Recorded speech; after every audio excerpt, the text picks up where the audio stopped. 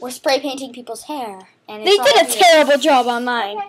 There's like a There. dot on my head. Oh, look, that's good. Great. Lena, no! I can see the back of my My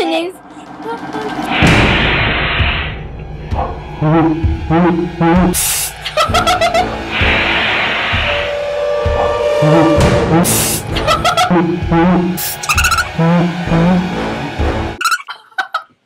Marlena, I'm so mad at you right now.